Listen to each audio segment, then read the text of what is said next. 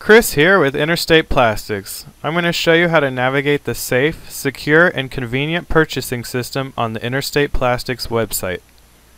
By now you should have input your dimensions into the calculator, received a price, and are ready to add your order to the shopping cart. For more information on how to use the cut to size calculator, please review the previous video in this series.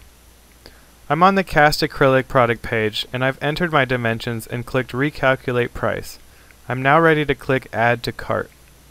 Once in the cart, you will see your material as a line item including a thumbnail, description, your dimensions, and quantity.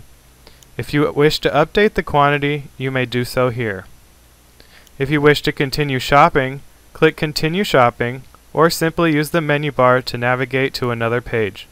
Your order will be saved in the cart, and your total will appear in the right corner of the top of the page.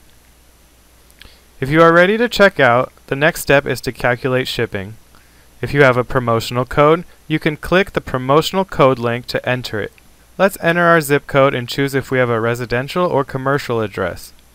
If you do not have a loading bay and forklift, you must check this box. Failure to do so may result in an inability to deliver your material. Now we can click Calculate Shipping. We will see our subtotal, tax if applicable, our shipping cost, and finally a total. Enter your credit card information, billing and shipping information. You can save time by clicking the Use Billing Information box. Enter any comments you have into the comment section and click Secure Checkout to review and place your order. You will now see an order confirmation. We will email you a detailed description of your order along with your order number.